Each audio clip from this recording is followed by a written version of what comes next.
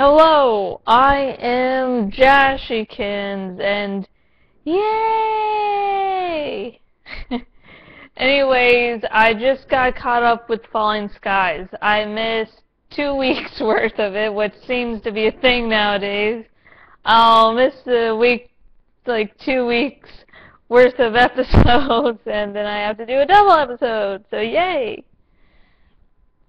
So, Falling Skies Season 2, and the episodes I'm reviewing in this video are Youngbloods and Love and Other Acts of Courage.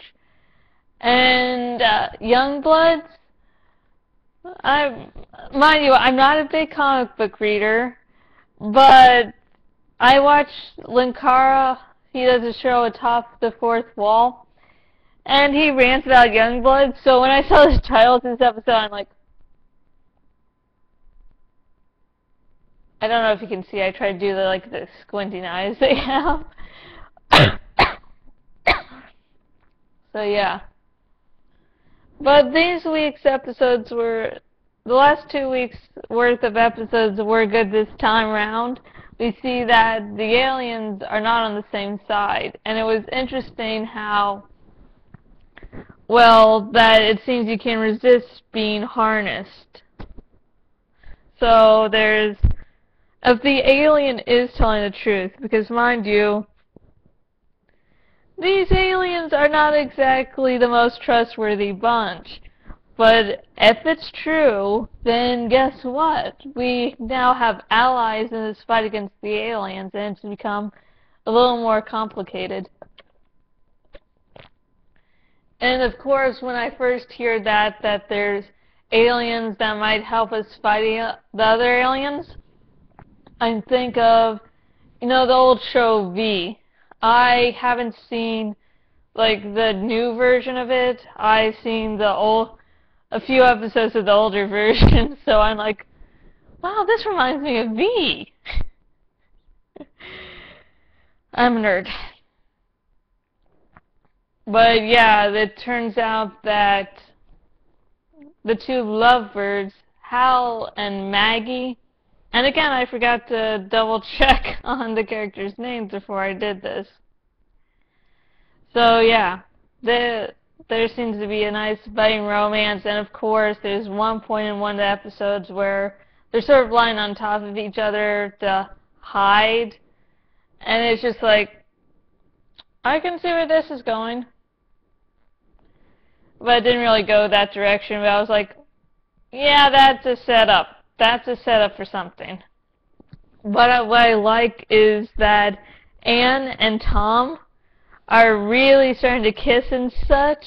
And at the end of this, of let me double check the name of Love and Other Acts of Courage, they sort of go into the closet and like, found chicka wow wow.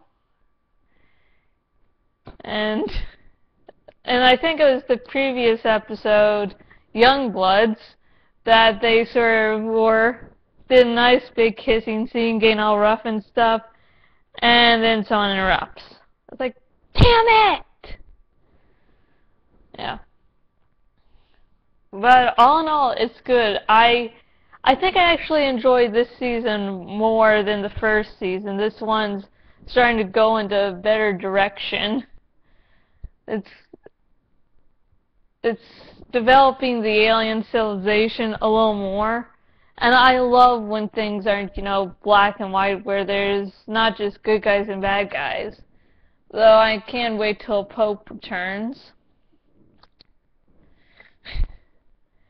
but yeah, and and Tom's relationship developing much more.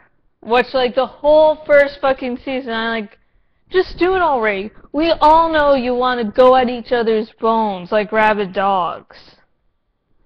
Just, God. And now they're starting to do that. Which I actually enjoy. and then, Hal, I believe that's the one that had been harnessed. Finally, they discover that, hey, he's actually been in contact with the aliens the Skitters. And but Hal does come up with a big point of why he didn't. He's like, basically, I didn't want to fucking die. So yeah, this seems to be, as I said, much better than the first season. And as long as the season two continues with this, it's going to be very, very good. So, young bloods and love and other acts of courage, I like. It's an alien invasion. So yeah.